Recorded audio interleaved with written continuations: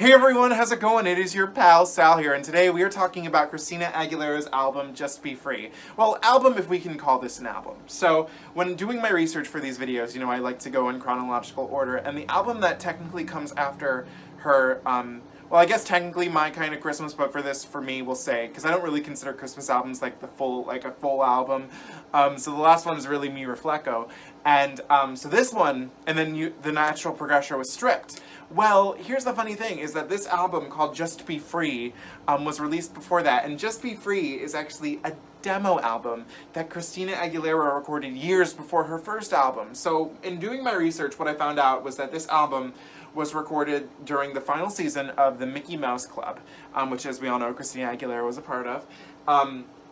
As a way to um, get her foot in the door with producers and like try and get a record deal. And she ended up meeting these two guys. Um, I believe their names are uh, Roberts, Allecca, and Michael Brown. And they get, they basically said it's like here's a studio, everything you record will be ours, and we won't release it. Um, and basically, she recorded these rough demos um, to send to producers and stuff like that. And then as Christina Aguilera was getting ready to release Stripped, they were like, you know how we said we weren't going to release this? Well, um, we own it and it's time.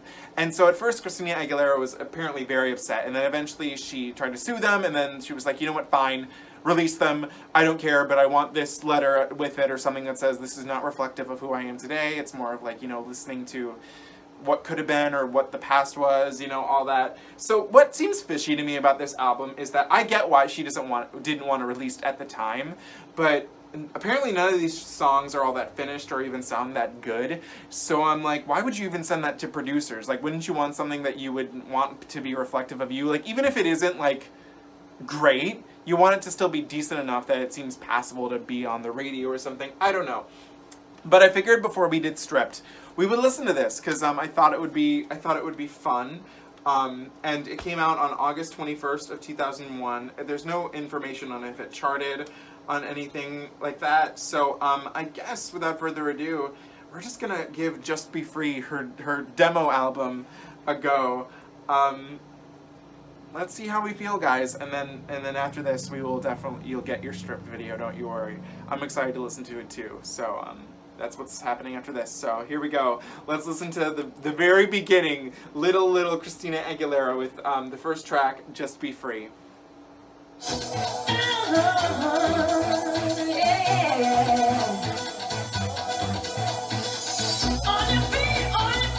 Oh. Hey. Oh. Hold on. Whoa.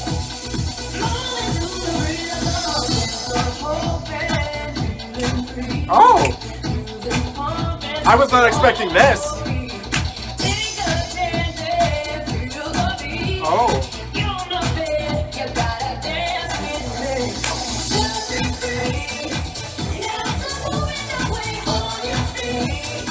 Oh shit! Be free!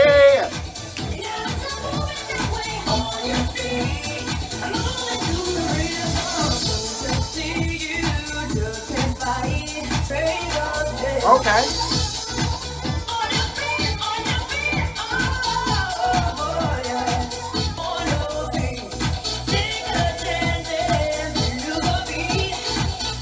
Okay.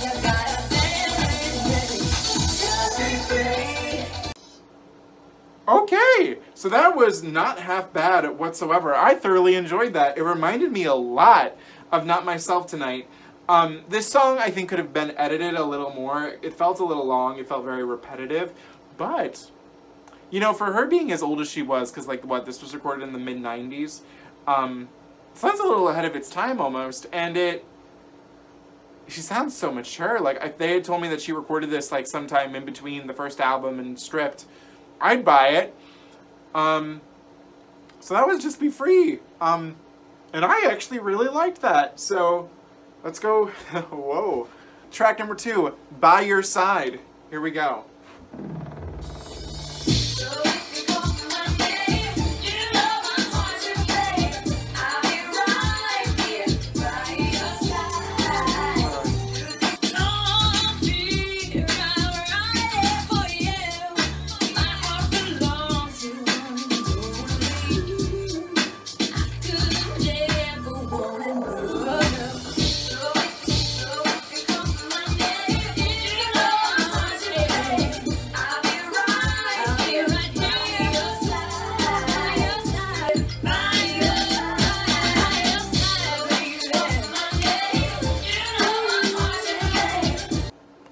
Another one that could have used a little bit of an edit, a little long in 4 minutes and 11 seconds.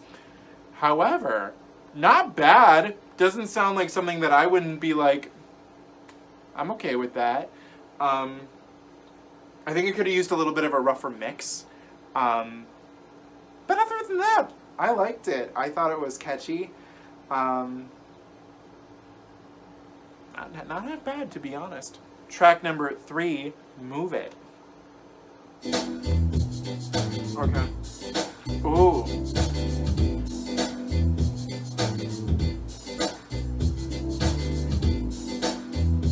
Move it. Because I was gonna be like, move it.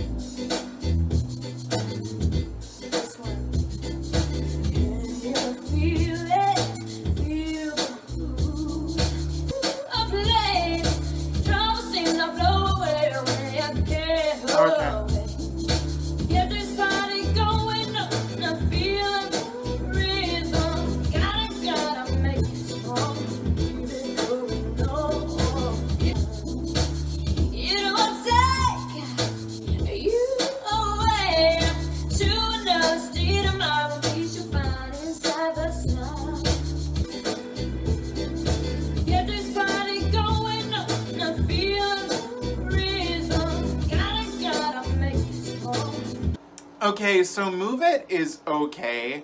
It has a nice, the verses are nice, but the chorus is basically non-existent, and the one that's there is so lack, it's so lackluster.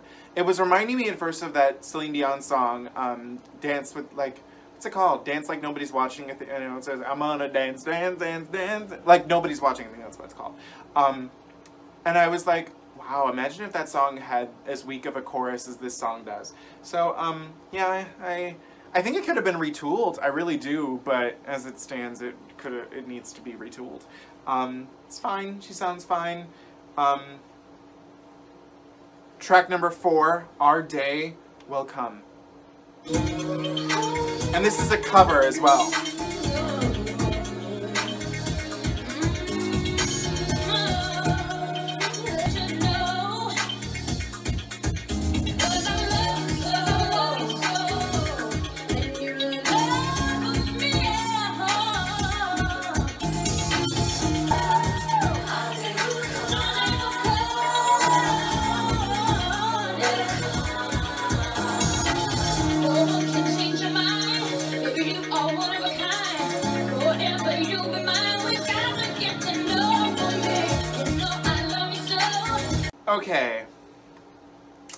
I'm not familiar with this song, but in doing the research of, like, as it was just playing, and it never stopped playing, um, this song was originally done by Ruby and the Romantics, which is a band I'm not familiar with, um, or a group I'm not familiar with, but then I looked at, like, other people who've recorded it. Frankie Valli has a version of it. Amy Winehouse has a version of it.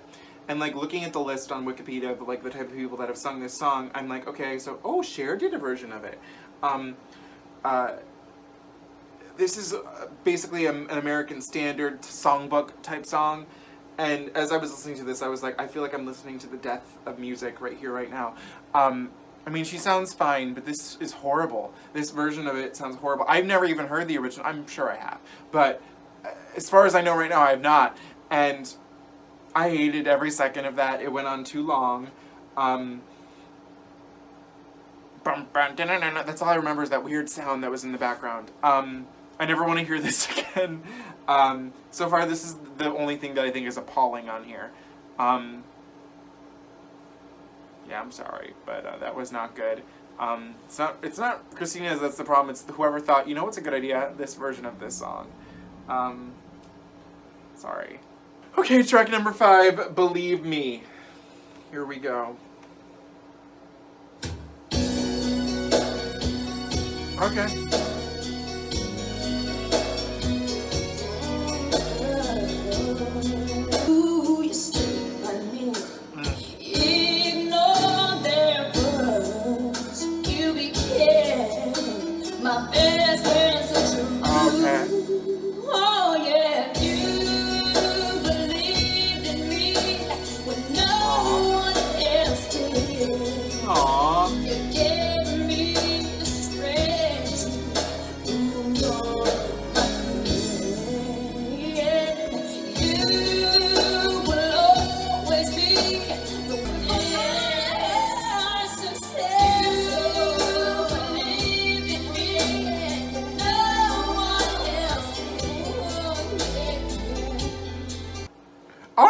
So Believe Me is actually a pretty solid track, and that was a blessing to hear after um, the last one I just listened to.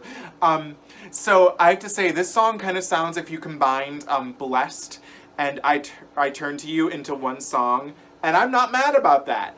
Um,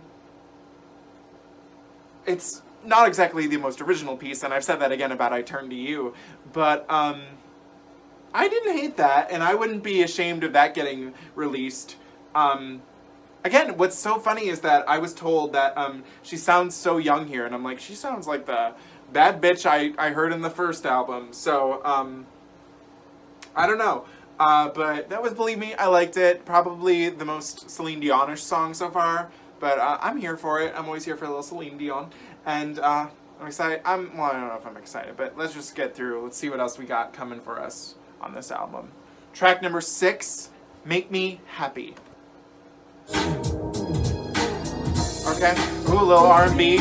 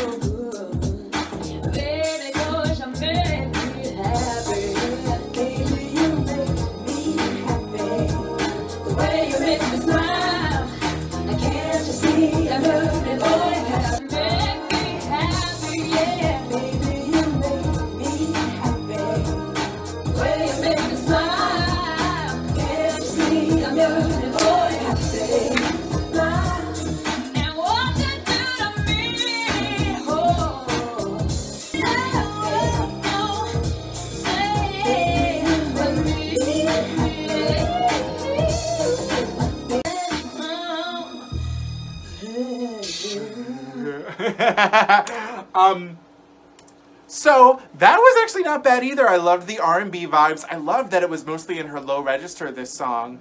Um, again, does not sound like a teenage girl here. Um, I thoroughly enjoyed that. I don't think that that's a song to be ashamed of. Um, that could have found a way on one of her albums easily.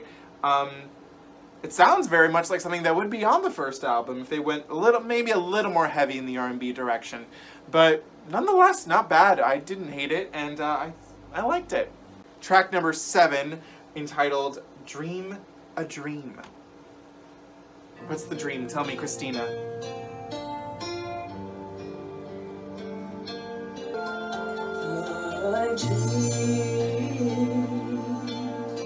There's nothing that's too tough. There's nothing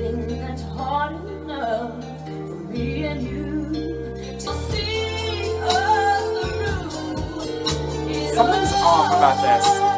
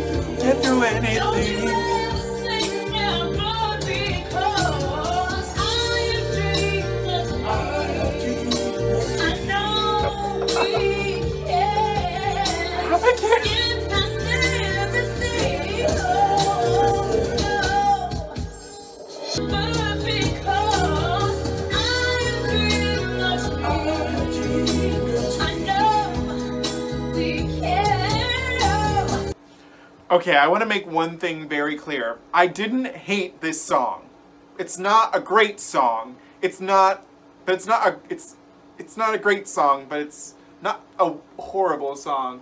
This sounds like it was recorded in one take. They had one take to do it, and they did not do any editing to fix her voice because there are some moments, and again, if you are mad at me for saying this, I'm sorry, this is how it sounds, where she is so slight, like this much, slightly under pitch, and you can clearly hear it, and I'm like, what? Like it sounds so unfinished, so wrong. How they I I understand if she was mad, if she like got a hold of the early like tracks and was like, uh-oh, I don't want this out there.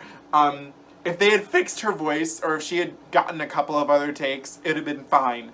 But the fact of how unfinished and messy it sounds, this sounds the most unfinished out of all of these so far. Um,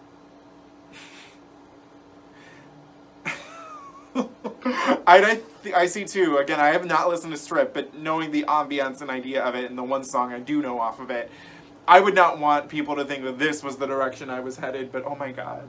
That was the that gave me a good laugh today. I needed that. So thank you, Christina, for that. And thank you to the guys who released this. But, um, oh my god. Track number eight, The Way You Talk to Me. Okay, we're getting another R&B influenced one. Oh, this kind of sounds like Deborah Cox's Sentimental. So I'm here for that. Here we go.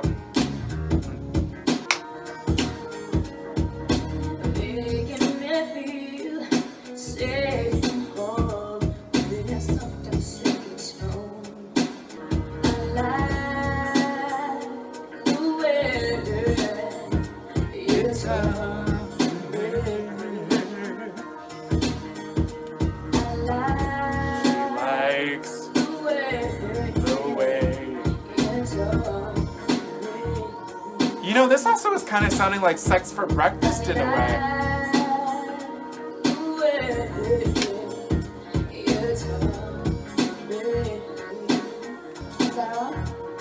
Is that all? okay, so again, I feel like the R&B tracks are the best ones on here. Um, that was fine. It honestly reminded me of like a less, a less lush Sex for Breakfast. Again, even though I don't really love that song, um, it was. This was fine. Felt a little long. Um, very repetitive, but I think that's also its point. Its backing beat reminded me of Sentimental by Deborah Cox a little bit. Um, I didn't hate it. I liked it. I think it, it it's worthy of being out into the world for people to hear. Um, that's about all I have to say. All right, track number nine, Running Out of Time. Here we go. Okay. Oh, another another funky celebration. Here we go. I'm gonna get a celebrating.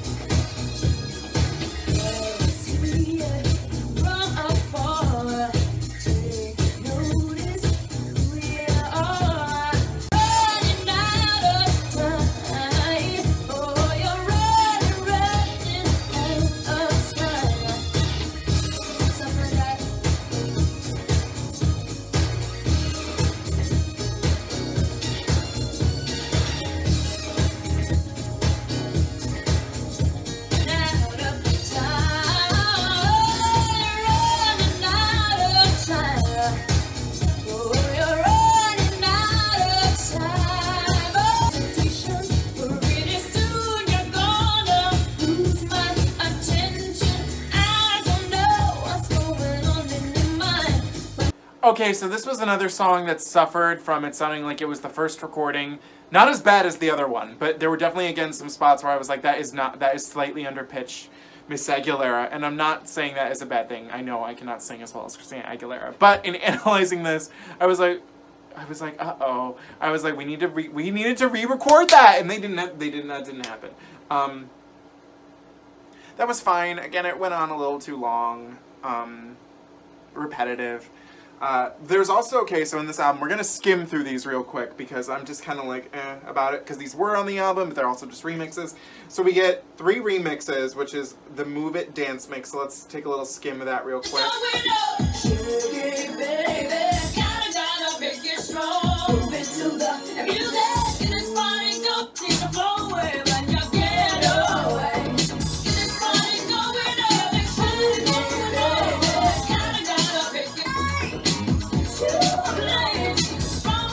Okay, I think I enjoyed that better than the first Move It, so that's good to know, because let me hear Move It again.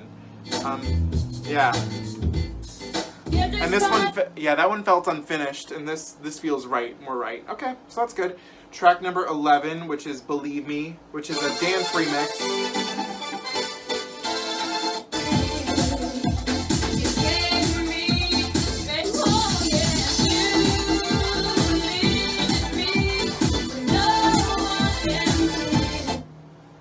Fine. That's fine. Um,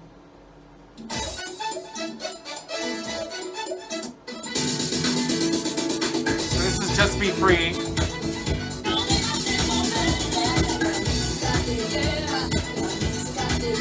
All right, and then Just Be Free, the Spanish remix is just it in Spanish with a light, slight Spanish more vibe. Okay, that's all I really needed to know.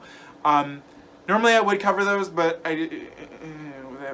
So, before I get into my thoughts, I asked you guys on Instagram what you thought about this album, and only one person responded, because apparently only one person has listened to this album. Um, and it was from Jordan Lake Live, and he said, Not bad, she sounds so young. It was just demos from when she was a child. Christina does not approve of this album. I don't. I disagree with the fact that she sounds so young. She honestly sounds the same here to me. Um, but uh, okay. Um, I didn't love this. It was kind of cool to listen to, um, but it was unneeded. You know, I I kind I agree. I believe in like le- things leaking and you know demos and stuff like that. Um, I understand why she didn't want it to happen the way it did. I think she would probably been she would have been maybe happier if like YouTube had come out and you know these had just leaked. Um, they sound pretty finished except for a couple, which I'm sure we all we all remember um, me talking about. But you know, it was fine. I don't think anything really stuck out to me. Just Be Free could be a fun opener for a concert, but other than that, um, some of these songs needed to not be free and kept under lock and key. Um, because they just weren't finished. Um, it's fine. Again, it's not it's not appallingly bad. Like I don't think anyone would be listening to this and Christine be like Christina Aguilera, that hack. Um, but it's it's interesting. I was I'm happy I did this because it was fun.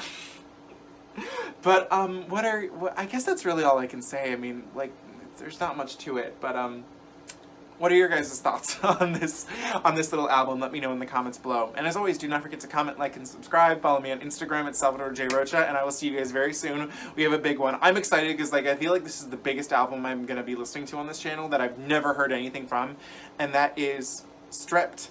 Um, so I'll see you guys then when we do that. But uh, this has been fun. Um, have a good day. And again, tell me what you feel because I'm curious to see what the fighter fans think of this little piece.